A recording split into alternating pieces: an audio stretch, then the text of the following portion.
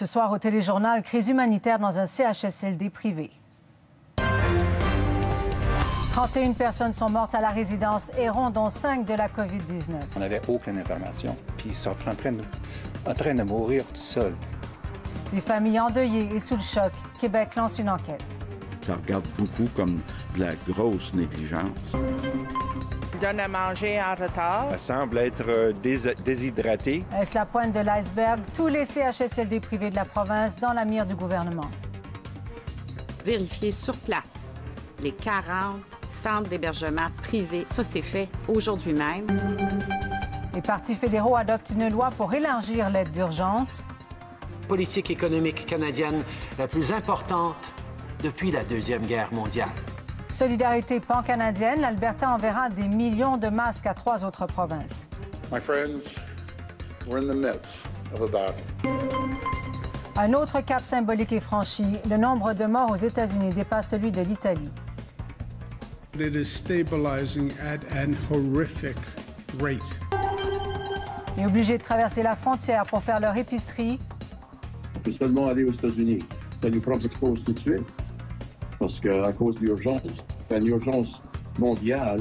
les résidents de Campo Bello au Nouveau-Brunswick craignent de devenir prisonniers de leur île.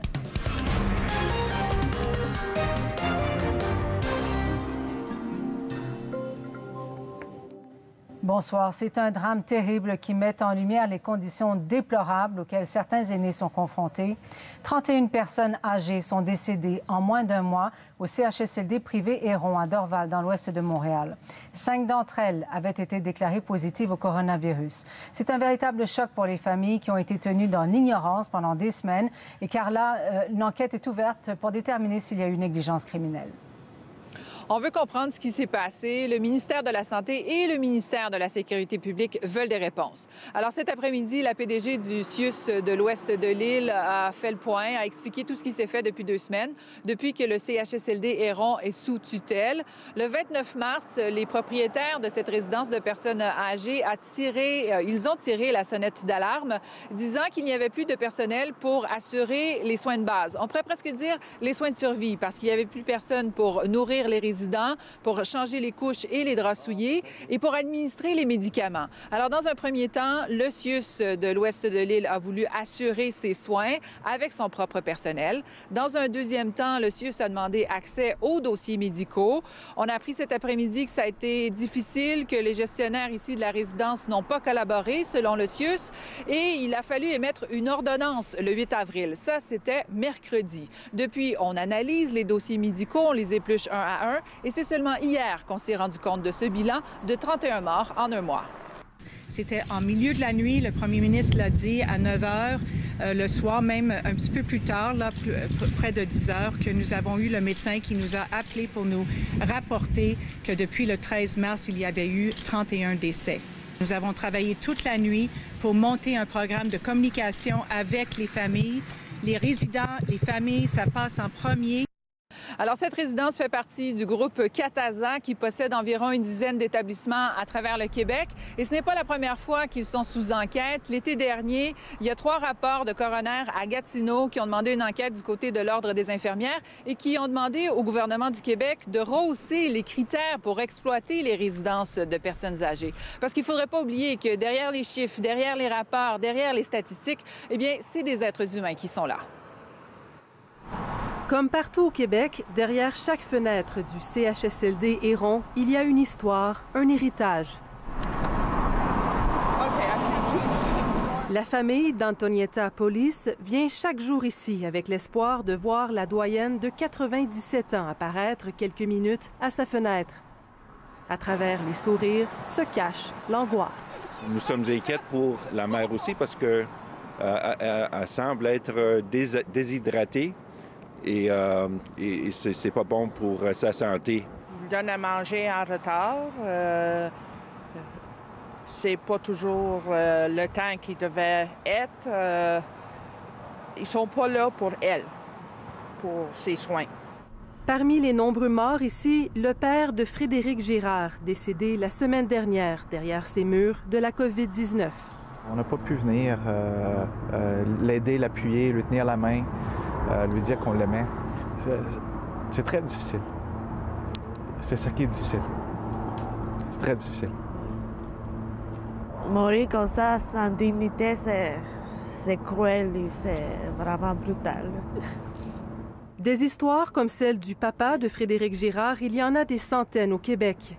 La mère de Peter Wieland a été transférée vendredi soir à l'hôpital. Malgré plusieurs symptômes reliés au virus, la direction du CIUS de l'ouest de l'île de Montréal aurait refusé de lui faire passer un test. Au niveau de communication, c'était pire avec le CIUS que c'était avec la résidence privée, parce qu'on n'avait aucune information. Il déplore aussi le mauvais traitement que sa mère aurait reçu. Ma mère était, elle avait des coches pleines, puis aussi elle avait euh, son, euh, son sac d'urine. C'était si plein que ça, ça a éclaté, puis c'était sur le plancher. Sa mère a finalement passé un test de dépistage à l'hôpital. Il attend impatiemment les résultats. Une double épreuve puisqu'il a perdu son père la semaine dernière. Ken Wieland, un homme de famille, est mort de la COVID-19 au CHSLD de la salle. Il y en a des gens qui ont besoin d'aide, qui ne reçoivent pas d'aide, qui, qui ont travaillé toute leur vie au Québec, qui contribuent à bâtir la société, puis ils sont en train de, en train de mourir tout seuls. Puis...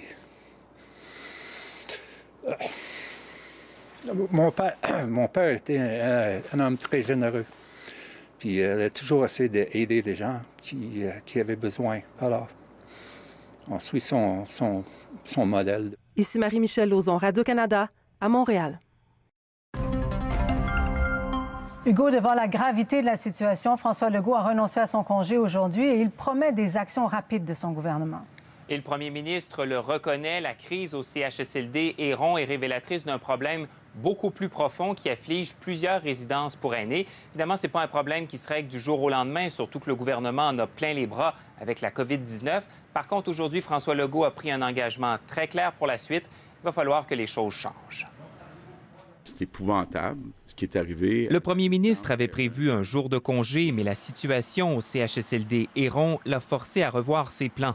Son gouvernement annonce la tenue d'enquêtes de la santé publique et du ministère de la Santé, mais surtout d'une enquête policière. Ça n'a pas de bon sens qu'on arrive dans un centre puis que la majorité du personnel soit parti. Là. Donc, je pense que ça regarde beaucoup comme de la grosse négligence. Il affirme n'avoir appris qu'hier soir qu'une trentaine de personnes étaient décédées au sein de l'établissement, les propriétaires de l'endroit ayant jusqu'alors refusé de collaborer. Les informations ont été cachées. La résidence Héron est un CHSLD privé non conventionné.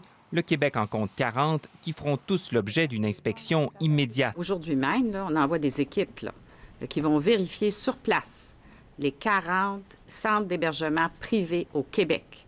Alors, on veut faire des vérifications, euh, on veut les aider. Le premier ministre l'admet sans détour, la façon dont les aînés québécois sont traités dans certains établissements est carrément honteuse. Je veux donner ma parole aux Québécois qu'on va poser les actions nécessaires pour qu'à l'avenir, euh, dans nos résidences, on s'occupe bien de notre monde. Il promet, une fois la crise terminée, de revoir de fond en comble l'organisation des soins dans les établissements pour personnes âgées, de la taille des résidences à la rémunération du personnel, en passant par le rôle des médecins de famille. Je veux qu'on revoie toutes nos façons de faire. Ce n'est pas d'hier que la faible qualité des soins offerts dans certaines résidences pour aînés défraie la manchette.